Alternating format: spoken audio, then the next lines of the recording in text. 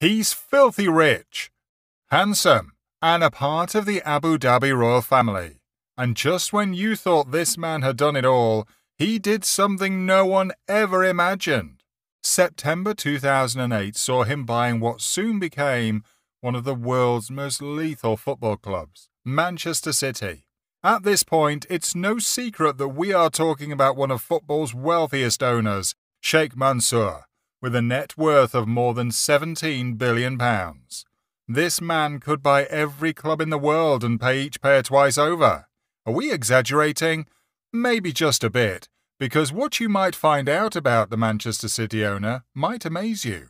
We are focusing on the lighter side of the Sheikh today, so join us as we delve into the private life of the billionaire, as we scout and unearth the secret life of the Sheikh and his quite ridiculous extravagant lifestyle.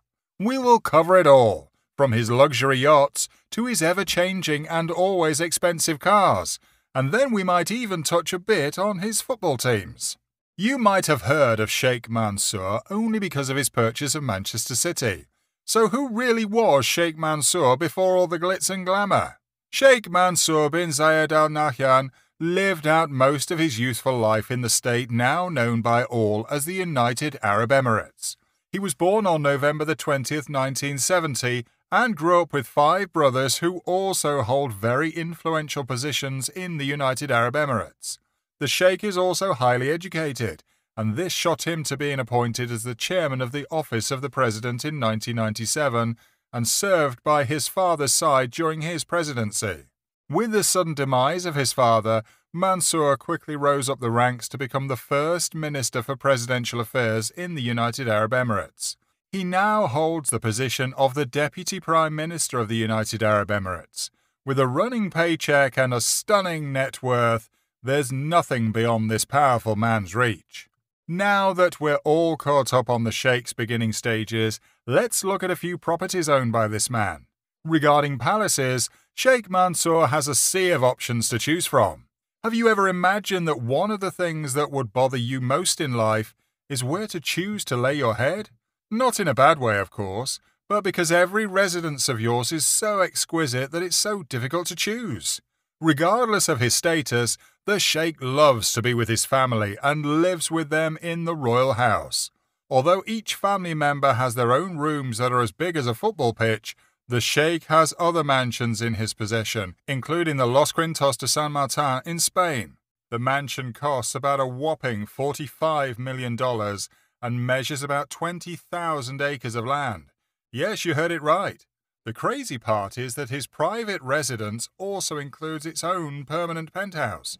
Adorned in gold and marble, the penthouse is believed to be one of the Sheikh's priceless properties. With an array of luxurious properties, we must all be very curious about what the Sheikh describes as fun.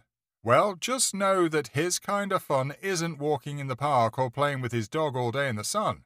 No, Sheikh Mansour buys yachts for fun, and not just any normal looking yacht. The Sheikh is the owner of the luxury A plus super yacht, formerly known as Topaz, pegged at an estimated $527 million. The yacht features beautiful swimming pools, a jacuzzi, a cinema, and a gym. You might say that this yacht is a home away from home. It has also been rumored that the Sheikh has a new baby of the sea incoming, but we know that it's designed by none other than Terence Disdale and is worth a whopping $600 million. For the Sheikh, nothing beats luxury, and money is never a barrier to acquiring the best form of luxury money can buy. Now that we've talked about his beats on the sea, let's take a look at the Sheikh's beats on the road. Just like most royals in the United Arab Emirates, they don't play when it comes to their vehicles.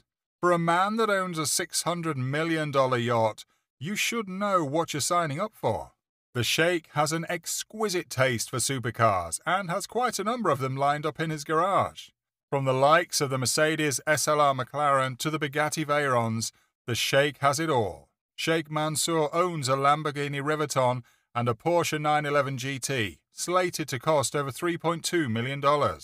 And if that's not enough, he also owns a Mercedes Benz CLK GTR, a Ferrari F40, a Ferrari 599XX, and a Mercedes Benz AMG G63. With a total cost of about $23 million, the Sheikh makes sure he turns some heads while he joyrides through the streets of Dubai. Even though he has an array of supercars flocked in his garage, his favourite vehicle seems to be his white Range Rover, which is said to be protected against snipers and even bullets at close range. From his level of protection, it seems that nothing can shake the Sheikh. Now that we have spent some time on land, let's fly with the Sheikh and see what secrets he has locked up in the air. The Sheikh doesn't seem to be lacking in any area of his life, be it sea, land, or air, as he has an array of private jets lined up just like his cars. Sheikh Mansour owns so many jets that he's even rumoured to own a Gulfstream private jet, which is almost impossible to purchase by many millionaires. Although there is little evidence to prove that the Sheikh owns one, we all know he is quite the luxury collector. As per his status, the Sheikh also has access to the Amiri fleet, which comprises several different Boeing aircraft. The Boeing 747, 767, and 787. These combined planes cost a shocking total of $870 million, and there have even been rumours of the royal family thinking of purchasing a few more for personal use. Even though we have touched a bit on the Sheikh and sports in the previous videos, it's important to talk more about it since the Sheikh is a stunt lover of sports, especially football. The Sheikh has a wide range of football teams across the world, which he owns through his Abu Dhabi United group. The mothership is Manchester City, estimated to be worth a whopping $4 billion and is the reigning English Premier League champions. The group also consists of other franchises, such as New York City FC, worth more than $385 million, Melbourne City FC, and Mumbai City FC. He is believed to have spent more than £1 billion since he took over the ownership of these clubs. Spending money doesn't seem to be an issue for the Sheikh, but have you ever wondered how this powerful man makes his money? The Sheikh owns numerous private businesses and also chairs various finance sectors in Abu Dhabi. He also owns an Arabic language channel, ADMIC, which partners with the popular British media house British Sky Broadcasting Corporation. Aside from all these powerful businesses, the Sheikh also holds the enviable position of being the chairman of the International Investment Petroleum Company in Abu Dhabi. Mansour seems to have a stake in almost every major enterprise and even has ties with Formula One racing.